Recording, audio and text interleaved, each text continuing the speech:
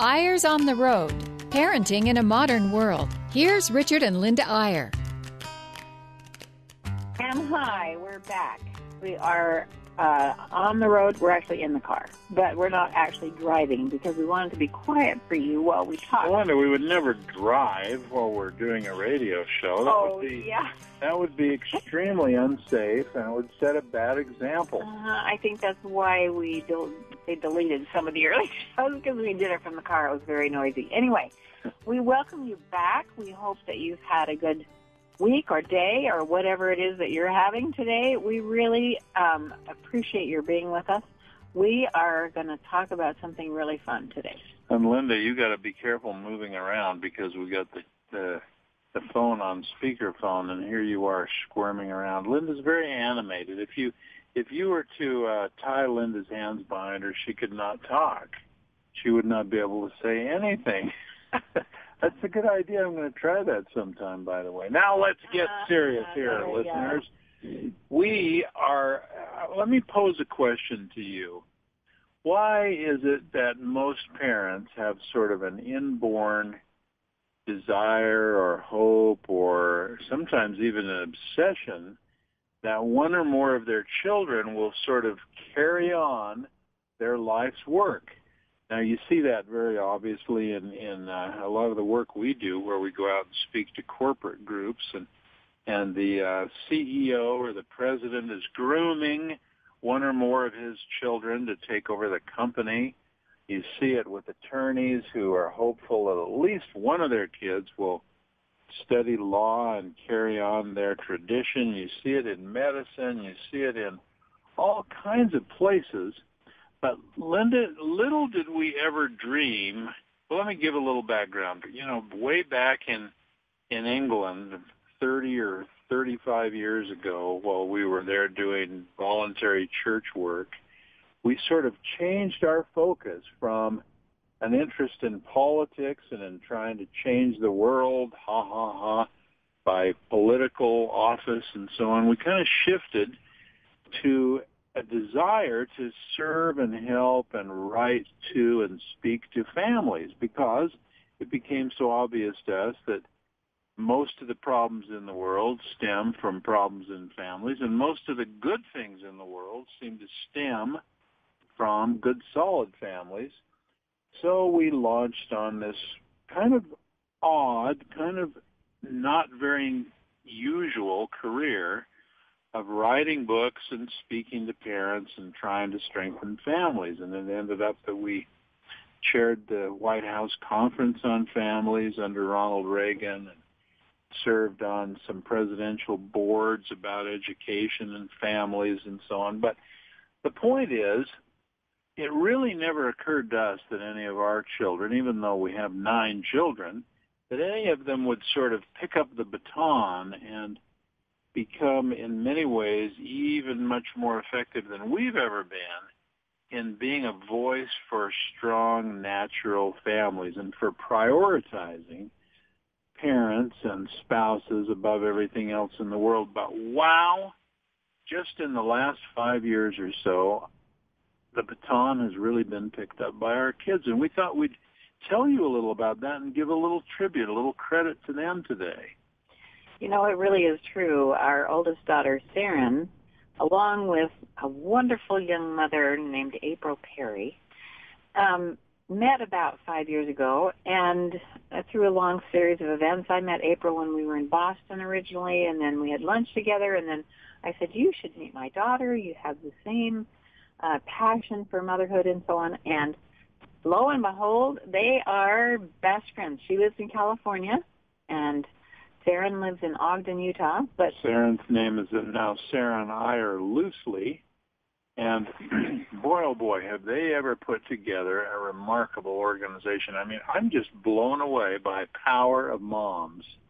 And many of you know about it because it's sort of sweeping the country in terms of popularity, powerofmoms.com. And how would you describe it, Linda? I mean, it's not just one thing. It's a lot of things.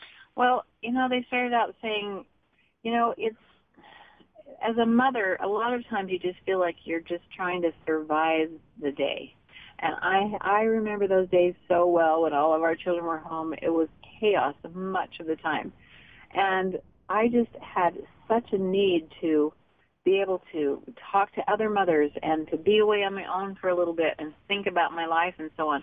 And I think that is what really helped me to thrive and to just survive. And and they just took that idea of really being deliberate about motherhood and made it into an amazing website. And but it's not only a website. I mean, you you go on powermoms.com and you'll see a plethora of different options, programs for teaching children various things from values to responsibilities, but also learning circles and other ways that moms get together and help each other and sort of commiserate with each other and sort of learn from each other.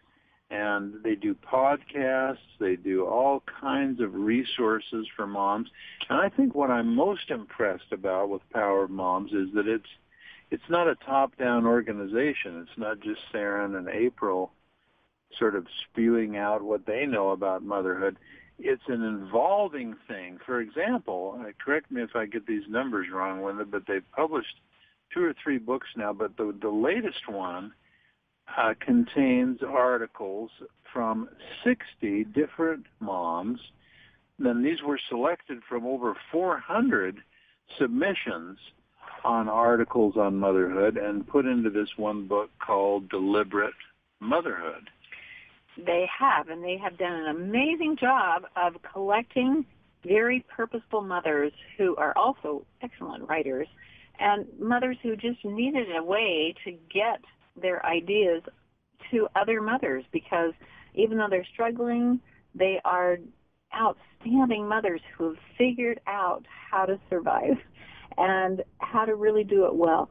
And so the, some of these writers are just phenomenal. So now they have a board of people that are just so incredible. People send in um, articles all the time. They have an editor that goes through and said has, says, you know, either this is great, publish it, or they say, um, work on this part, work on this part, and send it back to us. So they're, you know, it's not like they're publishing everything that comes to them. The, the, the things that are really worthwhile make it online. They also interview authors, and they did one a little bit ago. I think it's Gretchen Rubin who did the Happiness Project. Um, very popular. I think it's a New York Times bestseller, and they interviewed her, and uh, she gave some great ideas. Um, they do all kinds of interviews and and podcasts. You know, as as those of you who are young mothers know, you can just um, you can download them and you can uh, take them with you on a walk or while you're ironing or if you iron or washing. I'm sure you all wash. Uh, while you're folding wash, you just listen to those podcasts and it just gives you a lift for the day. It's pretty darn amazing. So you might detect in our voices a little bit of good pride. There is such a thing as good pride when it's pride in your kids. But go and check out powerofmoms.com. It'll it'll blow you away with all the resources that are there for moms. In fact, they are doing a special, I think, right now on Alexander's Amazing Adventures, which is something that we started many years ago uh, CDs of teaching 12 values, one at a time, a month at a time. And um, they have a great deal on it. Saren has now written a wonderful uh, guide that parents can use to get a conversation going at dinner or a family home evening.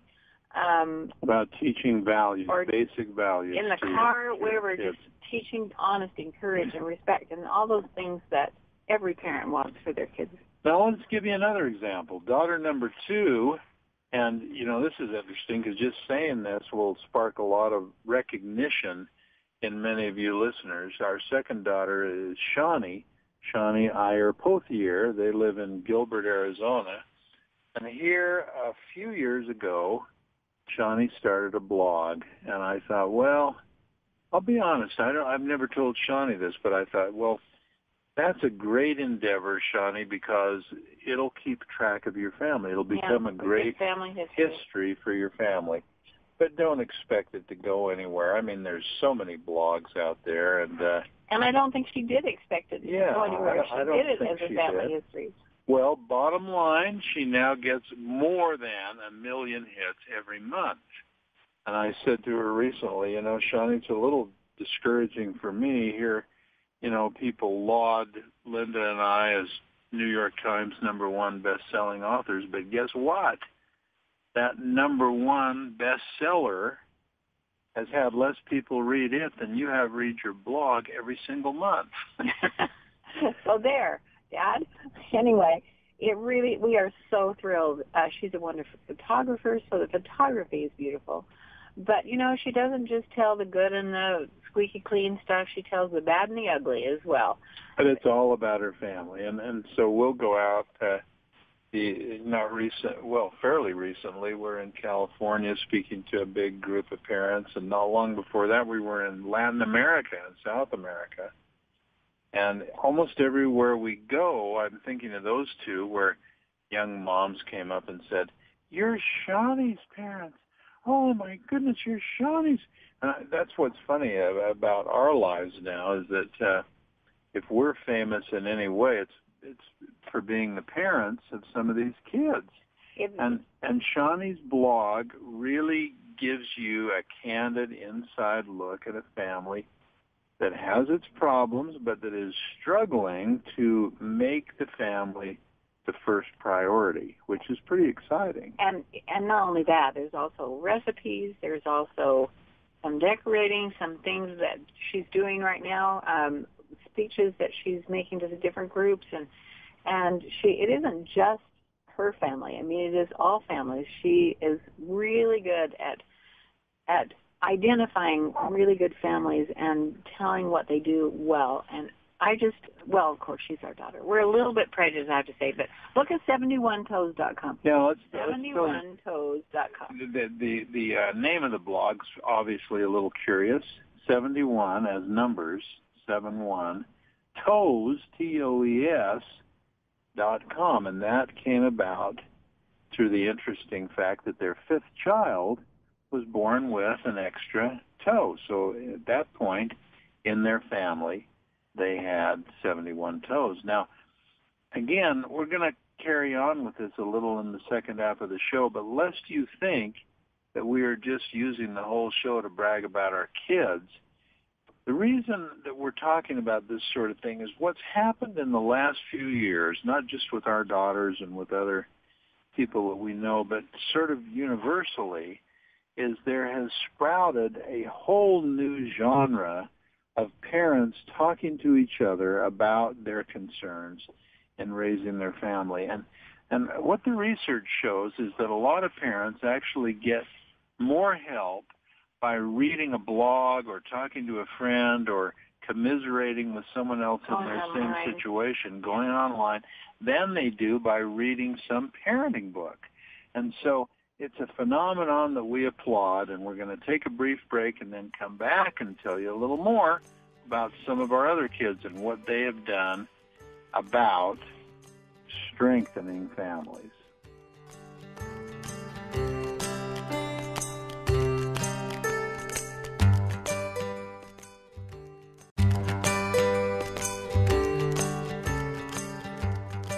Uh, well, we're back. You've already turned off the radio because you're sick of hearing about our kids. Who are these people no. bragging about their kids? Um, but they really have done a quite phenomenal job.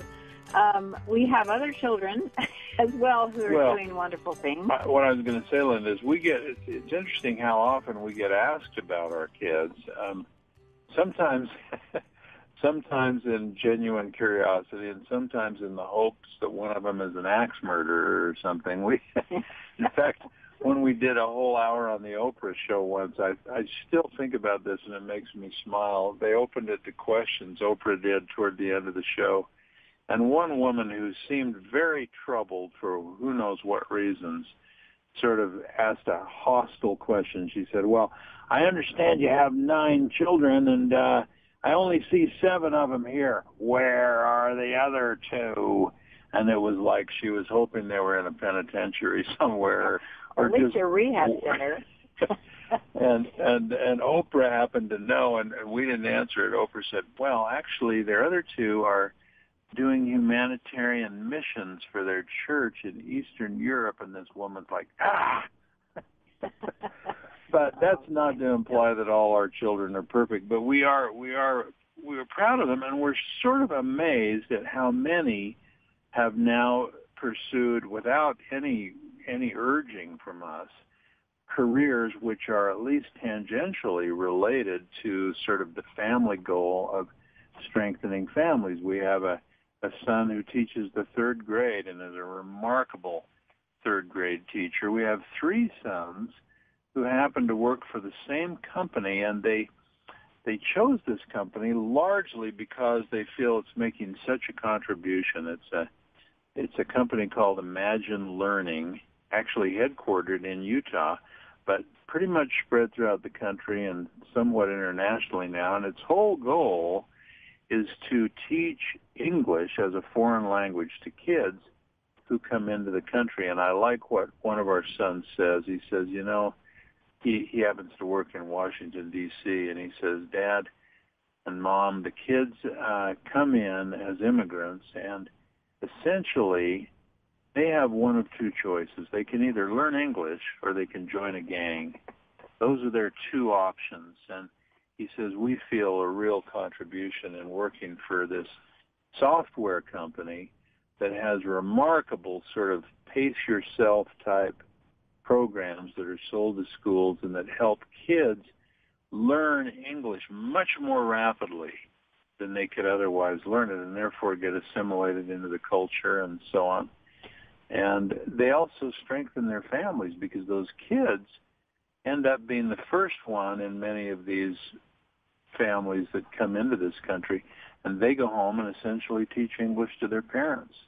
We also have a daughter who is an amazing writer. She has a blog of her own, um, which we are so grateful for because all of our children live far, far away from us. They're in New York, D.C., Boston, San Diego, Palo Alto, two in Phoenix, uh, one in Hawaii, and one in Ogden, Utah. and it really is amazing how a blog keeps us in touch with what they're doing. And we absolutely love it. And the wives of our sons have, have also done blogs, and it's a delight to be in touch. We are so grateful for the internet. Um, and we'll bring that, we'll talk a little bit about that at the end, but it really is quite incredible what they've done and what this one daughter's done. She may be our best writer. She's such a good deep thinker and uh, it's delightful to read what she does. This is Saydi, for those of you who know various members of the Eyre family. Um, and our youngest daughter, Charity, who's also an exceptional writer. I mean, it sounds like we're yeah, just sitting here bragging, but uh, they they amaze us in many many instances. And uh, Charity, by the way, has also been working for uh, quite some time until recently for Clayton Christensen for his think tank called InnoSight, and they are working on blended learning, on on models for helping schools to adopt a lot of online learning and to balance it with the classroom instruction to maximize kids' education. A lot of a lot of what families need, as most all of us would acknowledge, has to do with education and with making education more efficient and more effective in this country. So you get an idea. Well, let me just add that she's now left at the Clayton Clayton Christensen Institute to go to the real world. She was doing research there. Now she's applying this in a real school, in a middle school, and uh, in a Center City middle, middle school. And boy, does she have her hands full. In fact, she substituted today. We've got to call her when we finish this and see yeah, if she survived. That's right. But um, she is really um, making a difference in these kids' lives who really don't have anything, any anchor to hang on to at home. And one more of our children we want to tell you about briefly before we wrap up by talking about a remarkable conference that we participated in this last year right here, this last week right here in Utah. The First Lady, uh, Jeanette Herbert, and her husband, Governor Gary Herbert, put on a remarkable conference. We were honored to be the keynote speakers, and we'll tell you about that in just a minute. But I want to mention one other son we have who, um, one of our latest books that many of you know about is called The Entitlement Trap, and the whole essence of the book is trying to fight this incredible enemy of families uh, called entitlement. The biggest single problem that parents acknowledge in America today is an entitlement attitude among their kids. We've talked about it on the show before, so we won't go into detail, but we know what that means. Kids who think the world owes them a living and they should have whatever they want right when they want it and not have to give up anything for it.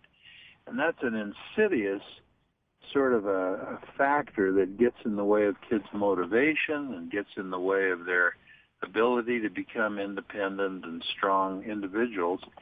So anyway, we you know we've been working a lot lately on the entitlement trap book and on things that surround it. But it always occurs to us that one of our sons, Jonah, who now lives with his family, his beautiful family in Maui in, in Hawaii, has gone so far beyond what we had ever prescribed. And without getting into a lot of detail, let's just say we're encouraging Jonah and his wife Asia to write a book at some point about raising self-sufficient kids. They live a remarkable lifestyle where their kids really get out early in their lives and become little entrepreneurs. Their little 12-year-old has raised money like you would not believe. She pays for everything. She bought herself a horse. She pays for her swimming lessons. She pays for everything she wants, all of her personal effects. It sounds almost impossible. Well, I think but she's a she's a she's a self-reliant, almost completely self-sufficient 12-year-old. Yeah, she is quite amazing. In fact, she's done the radio show with us a couple of times and had if you've heard that uh, little session that we had with her, she's just remarkable. She just came that way.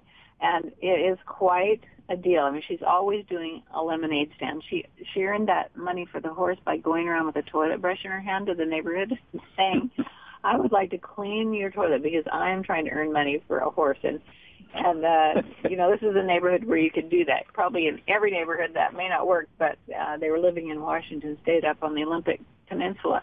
And honestly, she bought feed for that horse and one of our kids said, Emerson, did you get your horses shoed? Sh- shod? Is it shod? Anyway, um, she How'd said, you pay the farrier?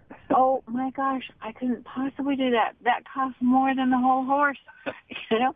And so it really is so fun to see these kids take the baton and run with it, especially when they have that little inner fire to start with, which she really does. So the bottom line, we just we we get so many questions about our kids. We're not implying that we have some family business and they've all become a part of it. They all are their own people, believe me. They're all strong-minded and independent. But it is interesting that to some degree, each of them have made and are making a contribution to the betterment of families, to the strengthening of families, which makes us very pleased. Now, last week we had a great opportunity to be the keynoters at the First Ladies Uplift Parenting Conference that was held down in Provo, Utah, and had a remarkable attendance, a full house. And we were joined by a lot of other great speakers and experts on various aspects of parenting. And it was another example of what we're seeing more and more of now, which is parents rallying together in one form or another and essentially saying, wow, you know, we really are interested in improving our parenting. And we think of parenting not as some instinctive thing that you just do, but actually as something that we can improve on and get better at and strengthen ourselves on. It was a great conference. It was really fun. Stephanie Nielsen was there, who's also a big blogger. Many of you would recognize. And uh, also Chad Lewis, the great football player from BYU, did a fabulous job. All of them were just outstanding in what they had to say. But I, before we close, I have to say that this week, this coming week, we're going to be in Arizona at another thing that is fighting for families. Um, speaking of, you mentioned that earlier, And uh, this is really an amazingly well organized conference fighting pornography, which is so huge in our lives today with the internet and with all that's going on and all the sadness that it brings to families. So we're excited to do that. It's on November 2nd in uh, Arizona. I think it's Gilbert. It's I think it's in Mesa. Mesa. Since yeah, we've Mesa. mentioned our da- one of our daughters lives there, the one that does the 71toes.com. And if you're interested, if you live in that area, take a look on her blog. She featured the conference. And as you say, Linda, it's it's focused on helping kids avoid what some are now saying is the most serious addiction that that happens in this country, more serious than drug addictions, and that is pornography addiction. So we're going to go down there and give the closing keynote and and our part to play. We'll talk a little about our book, How to Talk to Your Child About Sex, but our the name of our closing keynote is very interesting, and this was assigned to us. It's called Strong Families, Strong Communities, Strong Nation. And we couldn't resist uh, addressing that topic because that's our whole theme is that family is the basic unit of society.